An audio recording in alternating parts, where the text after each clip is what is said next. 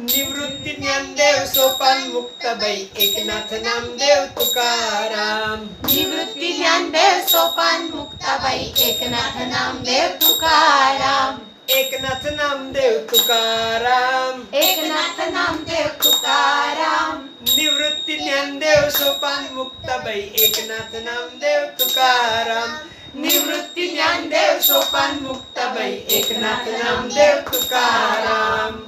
निवृत्ती ज्ञानदेव सोपान मुक्ताबाई एकनाथ नामदेव तुकाराम. ज्ञानोबा तुकाराम ज्ञानोबा तुकारामचा घोष करत मोठ्या जल्लोषात पालखी निरा स्नानानंतर लोणंदच्या मुक्कामानी आलेली आहे. ज्ञानोबा तुकाराम. कुणी म्हटलं तर ज्ञानोबा आणि तुकाराम. पण हा असा समाज सोडवायचा नाही. मध्यम पदलोपी ज्ञानोबा ते तुकाराम असा हा समाज सोडवायचा. आणि याचा अर्थ सर्व संतांचं स्मरण या जपामधून केलं जात असतं. लोणंद या गावाचं वैशिष्ट्य आहे. अतिशय मोक्यावर असणारी ही जागा म्हटलं तर ग्रामपंचायत असणारं ठिकाण. मोठी व्यापारपेठ रेल्वेचं स्टेशन आहे. सगळ्या दिशांनी वेगवेगळे रस्ते इथं येऊन मिळतात. अगदी थेट कर्नाटकातून येणाऱ्या लोकांपासून सांगली कोल्हापूर सातारा भोर कोकण तळ तळ कोकण आणि पुणे पंढरपूर फलटण बारामती सर्वांकडून येऊन मिळणारे रस्ते लोणंदला येऊन पोचतात. सामान्यपणे लोणंदला दीड किंवा अडीच दिवसाचे मुक्काम होतात. याचं कारण असं की जर तिथीचा लोप होत असेल तर मुक्काम कमी होतो. जास्त तिथी असेल तर दिवस वाढतो. आणि मग लोणंदकरांना अतिशय जोश येतो की आज यावर्षी जर असती तर माऊली अडीच दिवस त्यांच्या सहवासात राहिली असती. गंमत अशी आहे की लोणंदला पालखी पोचल्यानंतर पुढचा प्रवास हा सोपा असल्यामुळे लोणंदून जेव्हा निघायचं त्या दिवशी भोजनोत्तर सुमारे एक दीडच्या दरम्यान पालखी प्रस्थान ठेवते. एवढा वेळ दर्शनासाठी मिळतो आणि तरीही लोक रांगा लावून दर्शन घेतात. गर्दीचा ओघ थांबत नाही आणि लोकांना राहवत नाही इतकी गर्दी तिथे होत असते. तळ लहान आहे. त्यामुळे एका जागी सगळे तण मुक्कामाला राहू शकत नाही अशा वेळेला लोणंदकरांची मात्र खूप तारांबळ चालू असते. गर्दी खूप असते. कारण लोणंदचं एक वेगळं वैशिष्ट्य मला तुम्हाला सांगायचं आहे बाजारपेठ वगैरे आहे ही सगळी बाकी भौगोलिक आणि महत्त्वाची गोष्ट झाली. पण लोणंदची खरी यात्रा असते ती माऊलींच्या येण्याने. माऊलींच्याच मुक्कामात लोणंदकर आपली जत्रा आणि यात्रा पूर्ण करतात. आपल्या लेकी सुना माहेर वाशिणी आणि येणारे सगळे अवशे नवशे नातेवाईकांसकट आज लोणंदकरांकडे मुक्कामाला असतात आणि लोणंदकर त्यांच्या पाहुणचारात कमी पडू देत नाहीत माऊलीचं दर्शन घ्यायला चुकवत नाहीत. अशी ही लोणंदची वेगळी कथा. लोणंदला जेवढी गर्दी असते तेवढे वारकरीही काही काळ आजूबाजूचा परिसर धुंडाळत असतात. मला लोणंदच्या या दोन मुक्कामांच्या काळात इथं एक वेगळी गोष्ट तुमच्यासमोर मांडायची इच्छा आहे. आपण नेहमी रस्त्याने चालणाऱ्या वारकऱ्यांना पाहतो पण त्यामागचे राबते हात आपल्याला डोळ्यांना दिसत नाहीत. काही क्षणांमध्ये ज्या तळावर काहीच नव्हतं तिथं सगळं रात्री मुक्काम करण्याचं तंबूचं राज्य उभं करणं ही सोपी गोष्ट नसते.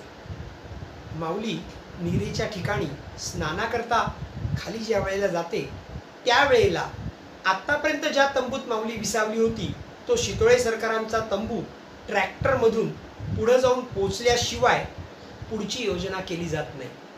कुठल्याही तळावर सर्वात प्रथम शितोळे सरकारांचा माऊलीचा देवाचा तंबू पहिला उभारला जातो. आणि मग त्याच्या दोऱ्यांच्या पूर्वेला कोण पश्चिमेला कोण दक्षिणेला कोण उत्तरेला कोण या रेघांवर तंबूंची रचना केली जात असते. ज्या ज्या गावातल्या तळांवर जेवढी शक्य आहे तेवढी व्यवस्था मांडली जाते. मग कधी एरवी चार पालं कधी दोन पालं कधी सहा पालं ही त्या त्या गावात जसं बसेल त्याप्रमाणेच ही रचना ठरली जाते. पण हे करताना माऊलींच्या तंबूच्या समोरचा कीर्तनाकरता जागराकरता मोकळा असणारा भाग तो सांभाळला जातो. तंबूच्या मागे कोण पुढे कोण डावीकडे कोण उजवीकडे कोण हे सगळं नियत आहे निश्चित आहे आणि त्याकरता कोणीही इंजिनियर नसतो कोणीही आर्किटेक्ट नसतो. ज्यांनी कधी मोजमापं घेतली नाहीत असे आमचे सर्व सेवक मनोभावे मागच्या वर्षीची खून डोळ्यात ठेवून आणि अदमाजपंचे आपले तंबू ठोकायला सुरुवात करतात. काही क्षणापूर्वी जिथं काहीच नव्हतं तिथे बघता बघता तंबू उभारले जातात. तंबू उभारून होण्याच्या आत वायर्सवरनं खांबावरनं विजेचं कनेक्शन आणलं जातं आणि दिवे लागतात. झगमगायला लागतो तंबूचा प्र संपूर्ण आसमंत आणि तिथून मग भजन कीर्तन यांचे आवाज यायला लागतात. लोक आतमध्ये येऊन पोचली की पुढच्या लोकांची कामाची वेळ सुरू झालेली असते. आपल्याला हे लोक दिसत नसतात. ते असतात अन्नाची योजना करणारे अन्न रांधणारे अन्न वाढण्यासाठी तयारी करणारे. तत्पूर्वी पाण्याचे टँकर येऊन तिथे पाणी भरणारे. या प्रत्येकाचा रोल खूप महत्त्वाचा आहे. प्रत्येकाची भूमिका खूप महत्त्वाची आहे. माऊली तळावर येऊन पोचण्यापूर्वी पाणी भरून त्याच्या साठेची सोय करणं त्यासाठी लागणाऱ्या गोष्टी जमवणं आणलेले ट्रक योग्य रीतीने उभे तयार करणं मग तिथं शितोळे सरकारांचा तंबू उभारला जातो ज्या तंबूच्या ध्वजाखाली ज्या वेळेला गरज असेल त्यावेळेला दिंडी संघटनेची वारकऱ्यांची आवश्यकतेनुसार बैठक घेतली जात असते. सहसा सासवड लोणंद फलटण किंवा मग जिथे आवश्यक आहे तिथं अशा बैठका होत असतात. त्यातनं महत्त्वाचे निर्णय घेतले जातात आणि वेळ प्रसंगी येणाऱ्या अडचणींवर मातही केली जाते. शितोळे सरकार मालक चोपदार वास्कर महाराज यांना याकरता विशेष मान आहे. देवस्थानचे विश्वस्त पदाधिकारी सेवेकरी हे याच्यामध्ये सहभागी होत असतात. पत्रकार आणि इतर लोकांनीही याची बैठक नीट तिथं हजेरी लावून त्याची माहिती सर्वांनापर्यंत पोहोचवण्याची व्यवस्था केली जात असते. शितोळे सरकारांच्या तंबूच्या ध्वजाच्या खाली हे निर्णय घेतले जात असतात यालाही खूप महत्त्व आहे.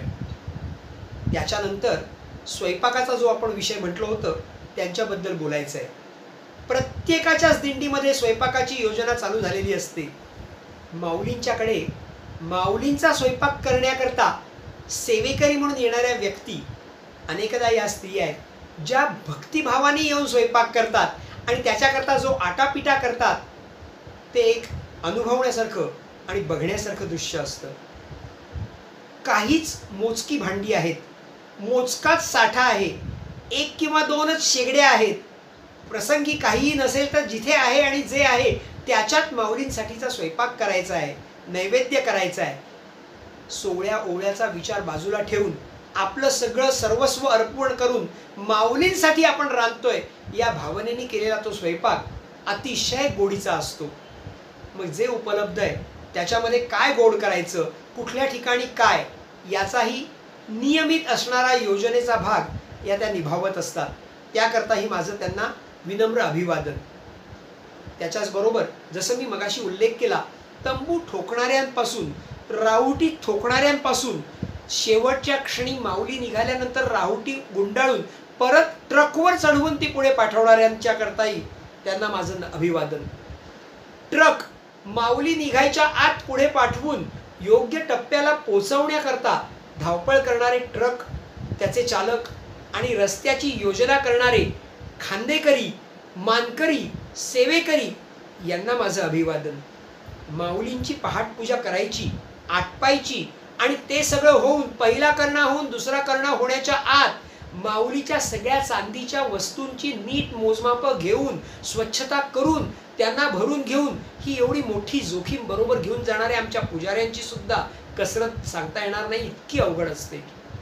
सकाळी पहाट पूजेपासून सुरू झालेली धावपळ माऊलींच्या बरोबर चालायचंही माऊली पोचल्यानंतर त्यांच्या नित्य पूजेमध्ये कुठेही अंतर द्यायचं नाही. जागर कीर्तनाचा प्रसंग संपल्यानंतर रात्रीची आरती एवढं सगळं झाल्यानंतर मिळणारी अत्यल्प झोप घेऊन पुन्हा उद्या त्याच उत्साहाने सगळ्या दिवसाची सुरुवात करणाऱ्या आमच्या पुजाऱ्यांना ब्रह्मवृंदालाही माझं अभिवादन. याच्याबरोबर जे नित्य कामाचे प्रश्न असतात त्याच्याकरताही ऑफिस तिथे जवळ असतं. कार्यालयाची योजना तंबूच्या शेजारीच केली जात असते माऊलींच्या. पहिला तंबू असतो तो विश्वस्त आणि येणाऱ्या अभ्यागतांसाठी बैठकांसाठी पत्रकारांसाठी आणि जे महत्त्वाचे पदाधिकारी प्रशासकीय अधिकारी येतात त्यांच्या चर्चेसाठी निर्णय घेण्यासाठी. दुसऱ्या तंबूमध्ये कार्यालय थाटलं असतं. त्याच्या शेजारी आणखीन एक वेगळ्या तंबूची सोय केली जाते. ती फार मोठ्या जोखमीची असते. माऊलींना आलेलं दान नीट मोजलं जावं. योग्य रीतीने त्याची मोजमाप व्हावं. आणि योग्य वेळेला योग्य बँकांमधून त्यांची भरणा केल्या जावा याकरता कष्ट करणाऱ्या सेवेकऱ्यांनाही माझं अभिवादन असलं पाहिजे. कारण तेही काम खूप अवघड आणि खूप धावपळीचं आणि जोखमीचं असतं. धोकादायकही असतं. हे सगळे करणारे आमचे सेवक खूप मोठ्या मनोभावे वर्षानुवर्ष ही सेवा करत असतात.